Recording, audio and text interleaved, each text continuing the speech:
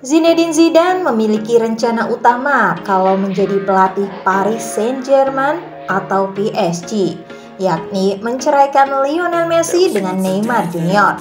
Dan sangat mungkin Kylian Mbappe menjadi anak emas Zinedine Zidane agar Mbappe tidak merapat ke Real Madrid.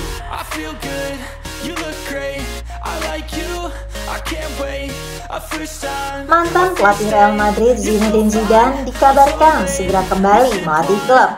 Baru-baru ini, Zidane dikabarkan akan mengambil alih Paris Saint-Germain pada musim 2023-2024 mendatang.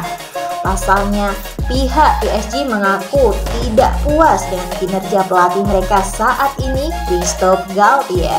Alhasil, Les Parisiens berencana untuk mencari pengganti Galtier dan Zidane menjadi pilihan utama. Bahkan Zidane disebut-sebut sudah memiliki rencana tersendiri apabila diangkat menjadi pelatih PSG. Rencana utama pria asal Prancis itu berkaitan dengan susunan pemain di skuad PSG.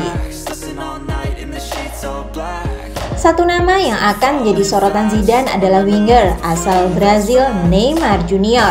Zidane disebut-sebut memang terpukau dengan performa Neymar sepanjang karirnya. Akan tetapi Zidane lebih memilih untuk menjual Neymar daripada menahannya di Paris.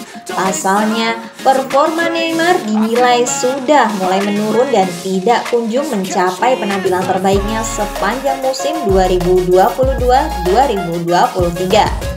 Selain itu, ex penyerang Barcelona itu juga sering dikabarkan memiliki sikap yang kurang baik di PSG. Apabila benar-benar dijual, Neymar akan kembali terpisah dari sahabatnya Lionel Messi. Winger Barcelona asal Prancis Ousmane Dembele disebut-sebut menjadi favorit Zidane untuk mengisi posisi Neymar. Dengan kontraknya yang sampai saat ini belum diperpanjang, Dembele memang memiliki peluang untuk bergabung dengan PSG. Namun, PSG harus menebus klausul rilis 50 juta euro sekitar 815 miliar rupiah dari Barcelona. Kontrak Dembele bersama Barcelona akan segera berakhir pada 30 Juni 2024 mendatang.